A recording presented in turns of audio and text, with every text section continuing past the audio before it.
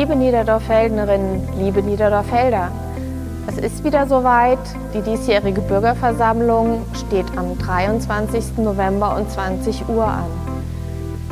Wir freuen uns, wenn möglichst viele von Ihnen teilnehmen, ihre Fragen stellen, ihre Anregungen einbringen oder auch einfach die Informationen abholen, die der Gemeindevorstand Ihnen geben kann. Liebe Niederdorfelderinnen, liebe Niederdorfelder, kommen Sie zu unserer Bürgerversammlung. Wir werden die Gelegenheit nutzen, einen Rückblick auf das äh, zu geben, was wir im Jahr 2023 gemacht haben und würden auch gern einen Ausblick auf das Jahr 2024 geben.